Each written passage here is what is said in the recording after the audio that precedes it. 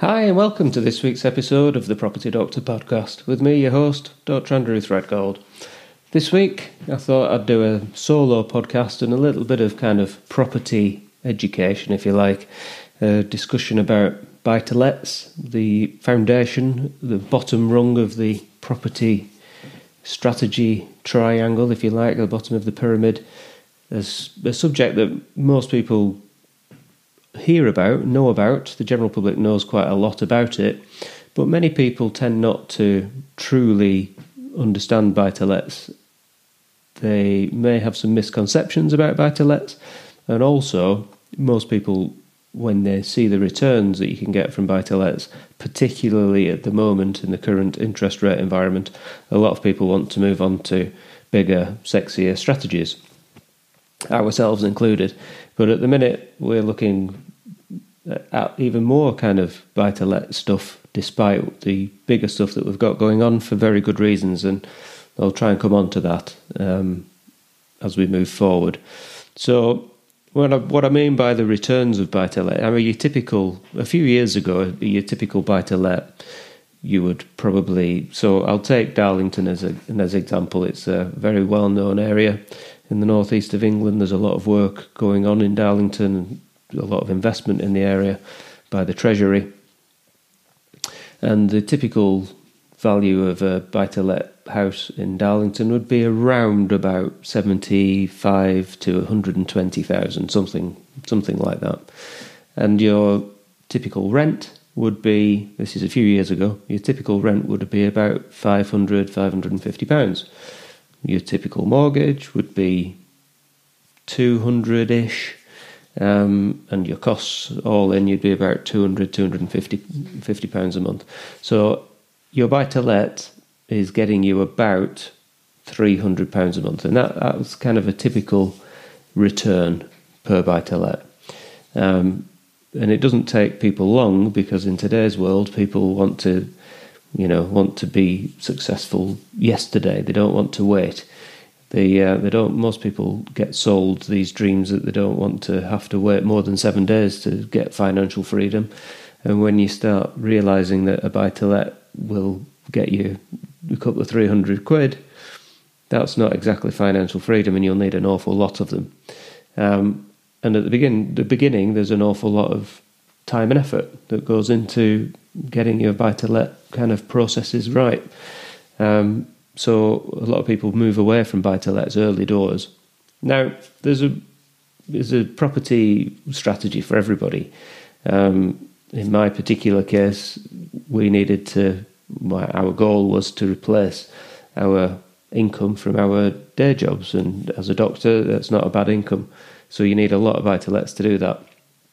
And when we were on a timeline, because we had a specific goal to do it by a certain time, we needed to change strategy. But now, kind of got there, we understand that there are a lot of benefits to buy to lets, and that's why we're actively looking backwards. Um, because, as we'll come on to, quite a bit of buy to lets is actually long term wealth and you know low barrier to entry and all that stuff.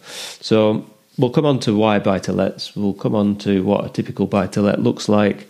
Um, we'll talk about the negatives. I've already highlighted one or two. We'll talk about the positives. Um, and we'll talk about the general environment for buy to lets at the minute. And this this is where the, the trouble is really because back then you would get your 300 250 300 pounds a month for your buy to let nowadays because the interest rates are higher the mortgage payments are higher but also the rent payments are higher at the minute too. And i don't think rents will come down. I think there's probably more upside to rents to come. So when you've got higher mortgage rates higher rents the margin remains the same. In a lot of people's kind of experience relatively recently before the rents took off or before they put the rents up their mortgage rates were going up. Their rents were staying the same and that margin was getting squeezed and when you've got buy to lets that are only making you 50 25 pounds a month and it takes one person not to pay their rent for a few months or need evicting or trash the property that can wipe the full year's income out from a portfolio of buy to lets so you know, there's a lot of negatives to buy to lets, and a lot of people have took their eye off them because of that. However, base rate has remained the same for the second time on the bounce. The inflation seems to be coming down slowly, and the the swap rates, which are what mortgage rates are based on, look like they're the best kind of indicator for what's going to happen, and that they are predicting that mortgage rates are coming down too. So over the next few years, mortgage rates will come down, rents will remain high, and that margin will come back again. Um, and if you've bought in the right places at the right price, you, you should, if you buy at this moment in time, there's definitely a window of opportunity there for people to actually get good stock that could set them up for the future. But you've got to deploy capital into it now rather than having to wait and do other stuff. So if you've got the money or you've got a long term view, then buy to lets definitely still have an excellent place in any successful property person's portfolio. So the thing with buy to lets is that they'll never go out of fashion. There will always be a need for them. There's um, there's literally millions of people on waiting lists to get into housing. So but with buy to lets aren't necessarily kind of social housing, but they do serve a purpose and you're putting normal people into normal houses in normal places. Um, I grew up in a council house. You know, it was uh, a council owned council house that I grew up in for a long part of my childhood. Um, I think back in the day, Maggie was selling the council houses off, but I'm not sure what happened with ours. But anyway, that's the difference at of fish. Um, um, well, because she sold them off, actually, there's a, a lot of good buy to let stock should be ex council properties because those are in the areas that people want to live and need to live. But that's another thing. We'll come back to that. Um, the other thing is that people, normal people, struggle to save deposits. So if they struggle to save deposits, they will struggle to buy houses. And if they struggle to buy houses, they need somewhere to rent. So there's always going to be a demand. Further evidence of a demand the government's house building targets have not been met. I don't think since I've been alive. I think last every year it's something like three hundred thousand new homes that they're supposed to build, and they miss it by over a thousand, hundred thousand every single year. So we've got a, an increasing population, a decreasing amount of supply, all trying to squeeze into the available stock that they've got. So that's another reason why I think there's probably a little bit more headroom to go in rents, but also why buy to let is is a safe strategy, safe and sound. The other thing is when you try and move into things like HMOs or serviced accommodation or um, commercial conversions or land developments and things like that, the risk is much higher. The cost of entry is much, much higher, and then the risk and the swings that you can get in terms of your cash flow is is a great deal larger as well.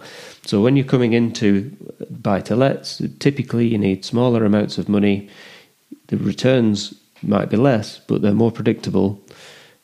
And if you get a down valuation on a buy to let property of 10%, you might be losing 10 grand. Whereas if you've got and that that's coming off kind of the loan to value for when you do your revi- refinance. Whereas if you've got a property that you've spent three hundred grand doing up, it, you think it's worth five hundred, and then all of a sudden you get a down valuation of fifty grand. Then that is a big chunk of money that you're having to leave in the property. So the the, the actual capital risk in each buy to let property is much less because your typical buy to let should be seventy five to 120 grand there or thereabouts, especially if you're operating in the north of England. So it's, it's a low risk strategy relatively, low barrier to entry. Um, and the other thing with it is that whilst there is kind of high demand for it, the standards don't need to be five star hotel type standards. Now, we do our, all our properties, including the buy to lets, to a standard that we would be happy living in ourselves, and that's our minimum standard. Um, our luxury service accommodation standards are better than the house we live in. Um, so you know, we wouldn't ever produce a property that we wouldn't want to live in ourselves. So if that is kind of a good rule of thumb for what is a kind of your basic standard, then that that, that should be a reasonable guide for the standard you need to do it to. There are a lot of landlords who get it incredibly kind of seamlessly and streamlined, and they've got a cookie cutter approach to doing stuff where they get the same kitchen in the same colour, in the same shop, in every single unit that they do. The tradesmen know what they're fitting, they know at what time during the schedule of works they're putting the kitchens in, the bathrooms are all the same, the paintwork's all the same, and they're all done to the same standard. Um, and to be honest, that's probably the best way to do it, as long as the standard is good. There are one or two landlords out there that give the rest of us a bad name. Uh, you'll see them on the news all the time that don't look like they care about their properties as long as the rent's being paid. Um, now, I'm not a fan of those landlords. I much prefer to have good quality properties. And the biggest tip that I can give you is if you're going to do a refurb on a property, is do it properly because the last thing you want is to do a refurb and then have a problem in the property and have to go back to it at a later date. The more you more time and effort you spend at the beginning on doing your property well, the longer it takes until you need to go and solve the problem. And that pays you back in dividends. Um, so there we go. So that's just a little bit about why buy to lets and why um, you know why it will always be a, a, good strategy. So, kind of moving on from that, what is a typical buy to let? I think well, I've already mentioned there that they um, they should be kind of in areas that people want to live in. Now, in every area in the country, there are some very rough places. There are some ultra expensive places for that area, and then there's the stuff in the middle. Now, there is a market for the very rough places, and some people do that and that's their market, and that's fair play to them. The market that we like is kind of the six or seven out of ten type areas, um, typically ex council, um, ex council, three bed semis, uh, three bed terrace, that kind of thing. Good quality stock where normal people live near schools, near bus routes, um, near shops, you know, where normal people live with kids good links, good transport, good schools, nearby to everything, including shops, where people, where normal people live and bring their bring their kids up. Kind of similar to where I grew up, really, and that's that's what I think of when I think of a typical buy-to-let property. Ideally, if you want a return on your investment, a, a decent yield, as we as we say, then it should be in areas where your properties are between 75 and 120,000. Um, you might squeeze something from about 150 grand if you find the, the right spot at the right rent. Um, but the higher you go in terms of value, the higher it is to get into it in terms of getting into the strategy. So you're better off having a number of units at 60 grand than you are one unit at 120, in my opinion. So just moving on a little bit again. So I said at the start we'd talk about positives and negatives. So I'll start with the negatives of buy to lets. Really, there's not a massive amount of negatives. I mean, the first one is that compared to other property strategies, the cash flow is smaller. So we've already said that. So if you're two, three hundred pounds per property, if you've got a HMO, you might be making fifteen hundred, two grand per property if you do it well. But to get into that, you might need an eight bed HMO, which is on a massive end terrace property. It might cost you 200 grand to refurb it. If you run out of money or the tradesmen disappear, then all of a sudden you've got nobody to finish it. You've got finance that you still need to pay for, and the property isn't performing. And if the property is not performing, it's a liability. And we want assets, not liabilities. So, cost of entry is small with buy to let, but equally, cash flow is small that goes with it because it's all about risk. Low risk, low reward. And that's just the way of the world, unfortunately. The other thing with buy to lets is because you get a, a small amount of money per unit, you need a lot of them to generate cash flow. So if you want, I don't know, two and a half thousand pounds a month income, net income, then you're going to need about 10 buy. And that takes a long time to do, and it's quite a lot of effort to do it. However, once you've done a few, it gets quicker, gets easier, um, and you can then kind of create your model and cookie cutter that model uh, onto all your subsequent properties. Your properties will also have a lower value. So if you're getting 60, 70,000 pound houses, then even if you've got 10 of them, your your property portfolio value will be six to seven hundred pounds, uh, six to seven hundred thousand pounds. So it's not a sexy thing if you've got 10 eight bed HMOs that are doing two grand a month each. That's 20 grand a month. You know, your portfolio value might be a couple of million, but takes effort, risk, and all the rest of it to build up there. And I can't stress enough just how the risk really needs considering properly before you venture into it because it doesn't take much, especially if you don't have experience. It really doesn't take much to uh, to wipe you out, and lots of people do. And the other thing with lets is it's not cool, is it? You know, let's be honest. If uh, if you said to someone, "I've got a portfolio of four or five super luxury high end apartments in London that people rent out on a nightly basis to be, you know, down the pub, your mates would be impressed, wouldn't they? But if you said, I've got 50 buy to lets in, I don't know, Chelmsford, they'd probably not be as uh, as impressed. So buy to lets have never been cool, but they're. Um, there's a lot to be said for them, which brings me on to the positives. So, simple things, low risk. I can't tell you how appealing low risk sounds to me at the moment. So, the low risk to get into, you need low capital to get into them, so a lower barrier of entry. The if something goes wrong, it won't wipe you out, or it shouldn't do, because the the capital you're putting into it isn't as high as if you're doing something bigger. So you've got a bigger margin for error. When there's a, a change in the market, say say you, you only do buy to lets and that's your only strategy. I spoke to someone last week who's got about 100 buy to lets in the Northeast and he's got, got it down to a fine art. Now, if the market moves 10%, he gets 10% on 100 properties. And if they're all 100 grand, you know what I mean? It, it's another hundred grand onto his portfolio. So there's a lot to be um, a lot to be said for spreading your risk like that. They're also a long-term wealth builder. So over the years, as we know, the chances are property does increase in value. Probably not at the rate it used to, but it definitely does increase in value over time. And if you've got ten buy-to-lets in 20 years, they may well have doubled in value. Um, Whereas if you could only do two or three of a different strategy, whilst that might have doubled in value, it's probably not going to give you the same cash back as if you've got 10 smaller units.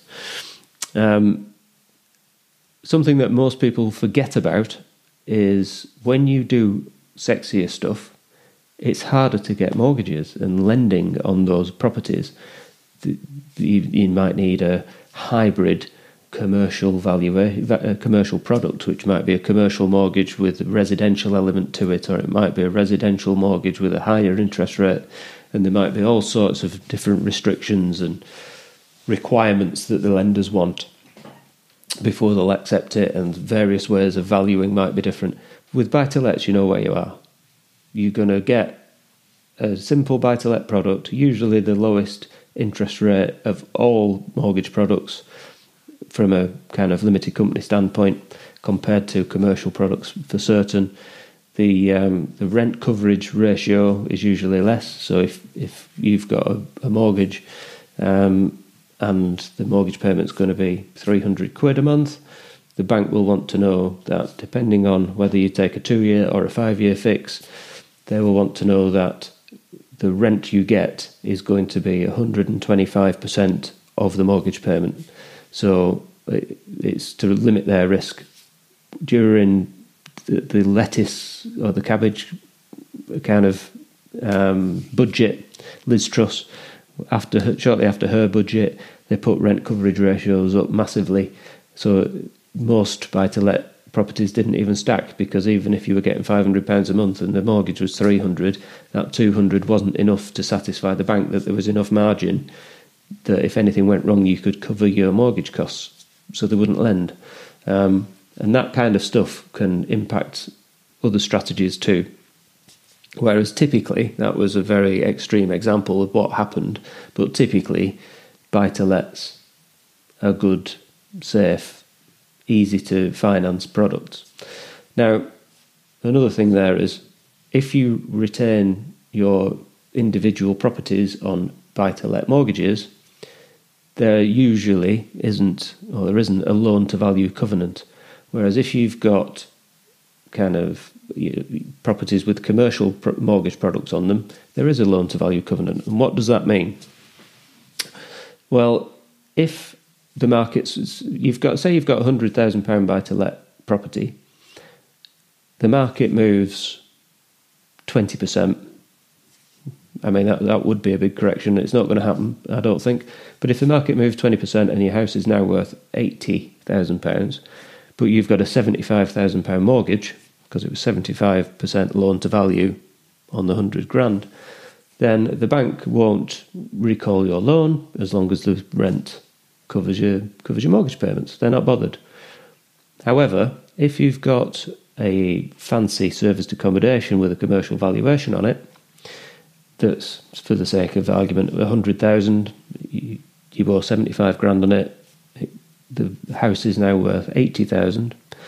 The bank will want their money back by the end of the week because you've breached their loan to value. They don't want the money you owe to be any less than a certain percentage. So if if if you've got seventy five percent of hundred thousand pounds, and all of a sudden your the house value is eighty thousand, that means seventy five thousand is still owed, but the property is only worth eighty. So your loan to value has suddenly gone from seventy five percent to ninety something percent. You've breached their loan to value covenant, which gives them the right to recall their loan, and they can do it like that. So all of a sudden, you might have a few properties of commercial mortgages. Your loan to value covenant gets breached by a swing in the market, and you've got to find whatever your portfolio value is and pay by the end of the week, or they call in the administrators. And it does happen. Um, sort of somebody that I know had something very similar during the last financial downturn, and he needed to find four million quid by the end of the week. But that's for a different episode. Um, I'm not sure if that's a negative or a positive. It should be a positive, that, because that's one of the reasons buy to lets are good, because they don't have loan to value covenants on them once you're on the product. Um, other thing about buy to lets, there will always be a market for them. Another, so another positive is you could always sell them. Always, that kind of house is in demand. So you might have to take a small loss on it, Hopefully, you've held it long enough that you've, you're getting a nice win on it. But if you need to exit that kind of property, you can always sell it. And that cannot be said for things like bespoke sui generis HMOs or amazing service accommodation units, you know, tailored to a specific market. So you've got to be careful what you're doing, but that's definitely a positive for buy to lets. And the quite, you know, the other thing is if you get the right tenants in the right places and the product you su- you supply, you produce is is good, you get a low turnover of tenants. Most people are happy in their homes. They're quite happy to live there long term. If you look after them, they'll look after you. Um, so if you understand your market, there's a lot to be said for for the good old buy to let. So where do you find these buy to lets from? Well, typically, in my experience, making contact with local agents, telling them exactly what you want. I want this type of property in this location or this postcode with this number of bedrooms at this price. So give the estate agent a shopping list. Um, once you've done business with them once, they will know that you transact and they will more often than not bring you stuff. And the more you do, the more that you will get to the top of their list. Don't go taking in big boxes of quality street, uh, that's just cringeworthy. They, they know what training course you've been on if you do that. So just be nice to them in general, pay their fees, transact with them regularly, build a relationship, and they will start bringing you stuff. It's that's the way it works. Don't mess with them about because if you start messing people about, you that's the reputation you get for yourself. So if you're going to do something, work your numbers out. Say, you know, this is the way I do stuff. These are my numbers. If it doesn't work for the vendor, that's fine. But if it does, I will buy it. And then follow through and complete your transaction. And then once you've got a track record, that's it. That's how it works. There's obviously Rightmove. You know, there's a lot of stuff on Rightmove at the minute. It's a it's a kind of a neutral market. Sellers are more realistic, um, so buyers can kind of snick decent deals. Word of mouth is another great one. The vast majority of our stuff comes from word of mouth. Again, because we always do what we say we're going to do. We always transact if we say we'll do it. Um, my personal preference is to be able to find stuff that you can add value to because at least that way you can do it to the standard that you want to do it, which means less maintenance in the future. And also, you tend to be able to refinance your money back out of it using that buy, refurbish, refinance method. Um, but once you've got a decent cash flow, the cash flow builds up, and if you don't spend it, you can get a deposit that way. And then all of a sudden, you're organically growing your portfolio. Letters, things like that. You could send letters to landlords. Um, you can put adverts on Facebook. You can put signs on your car. You can put signs in the windows of the properties that you're doing. Um, networking, finding landlords that want to retire, trying to, you know, get to know them genuinely, not just because you know they want to retire, because people can see through you. It's so easy to see through people when they want something. Um, and just be open to having relationships with people that are, and you are happy to give rather than doing giving to receive. If you if you are of a giving nature and you will help people genuinely, then you will find that people want to do business with you. If you offer something, if you get something back, that's a one way ticket to nowhere. Anyway, that's just another one of my tips. Um, try not to be completely reliant on the refinance to get all your money out. So try and find deals that have got margin in, because if the valuer comes out to put the mortgage on the property and they undervalue it or downvalue it, um, you will end up leaving more money in than you thought. Um, not the end of the world. The money isn't lost. It's just stored within the property. Um, but if you've got, if you can find deals that you've got a little bit of play in, then if you get the full value when it comes to refinance, you might have a little extra that you can put into the next deal. But if you get a slight down valuation, it's not the end of the world. And always have a, an exit in place. So if, if it doesn't work for whatever reason as a buy to let, what other things can you do with that property? Can you flip it and sell it for a profit? That's always banking the cash is always a good option. Um, can you you know put get a social housing contract on it and and give it give put a lease on it to a social housing provider. Could you do it as it might not work as buy to let but it's a, particular need for serviced accommodation in the area. So have multiple exits for every property you get. Don't always bank on one particular thing.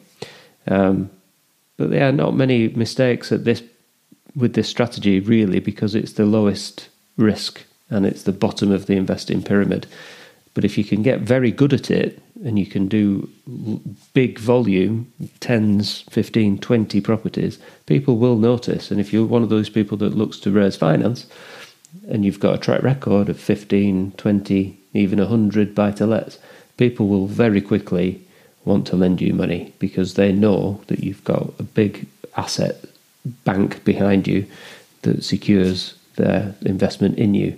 So, plus, Something that most people don't really kind of appreciate is the more active you are, the more you get known to people, the more connections you make with tradesmen, with estate agents, with lenders, with trade accounts in various places, with builders, merchants.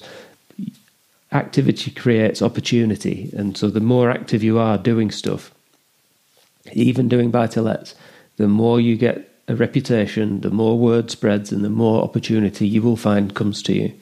So I think that's one of the hidden beauties of buy to lets at scale at the lower end of the investing pyramid that most people really don't appreciate because that has a value all of its own that it's very hard to quantify.